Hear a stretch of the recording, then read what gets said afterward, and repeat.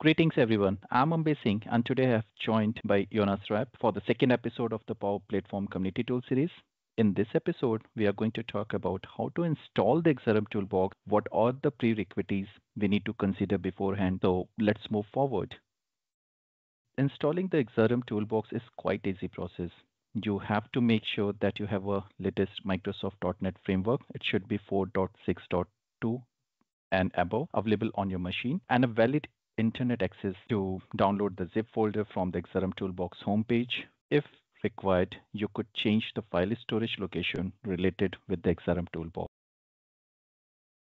We have two personas here, Max and Mia. They're the co-workers in the Contoso. So Mia had a doubt. She need to work something with the XRM Toolbox, but she is not aware how to install it, how to download it, and how to use it. And the Max says that wait a second, you will get it every your question answered in the demo by Jonas. Over to you. Okay, hi. I'll take over the screen and we'll show you how to do it. I just go to the browser. Where is it? Well, it's of course on the internet. That's there. There, of course. Just uh, just take a new window here. Where do we go? Well, XRM. I just started writing that, and then it understands what I mean. Of course, I want to go to the XRM toolbox. This site is uh, quite simple and uh, it has some information about which tools we have, how to download it, and so on.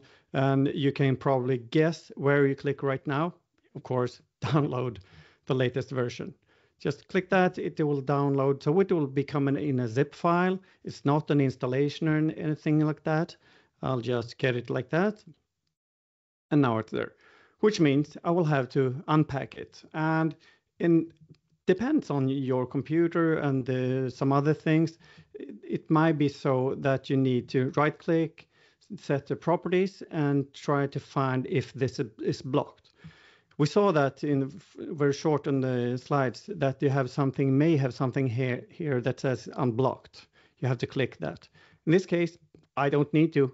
I don't know why, but anyway. So from here we can just go unzip everything so I right click, unclick all. Well, of course, I don't want to have it in a download folder. I'll just remove it and put it in my tools. I have it there and extract it there. And then it takes half a minute to sort of unpack it. And now it's downloaded. I will just go look to the tools. We find XRM Toolbox and open this one, and there's a bunch of boring files, but this is where we started. Actually, I won't start with just double, double click it. I will, from the first step, I will set task. So I'll pin it to the taskbar. When I just run this, it will store, it will store all files in some strange folder called like this is the seed.users.my username, app data, roaming, MS CRM tools, and then XRM toolbox. That's not very good way to use it. So that's what I do. When I have this here on uh, on the task, I will start to go and right click this one and set the properties and we will see, okay, this is how it started. And instead we'll say that we'll add something folder where it should store all the information. So I'll just add override path colon and where should it be stored? Well, then I'll just to be simple, I can just put it in the tools, put it there, and then just say okay. And now I will start XRM Toolbox.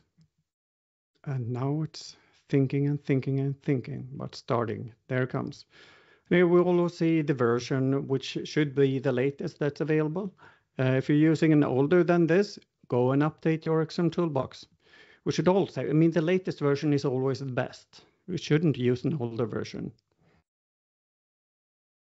And here we see the XRM toolbox. I would say the first thing I do, because now it's there are a bunch of uh, different tools here, but they are all only those from Tanguy Touzard well, he's, he's of course the god, but I'll go to the tool library just to get something. And now the first time it uh, will take a bit of time where it's loading all the caches for these uh, tools. Okay, now it's done with the caching everything it needs. So here we see there are so many tools. There are very a lot many. I think it's like 300, 400,000, not 1,000, 300, 400 tools.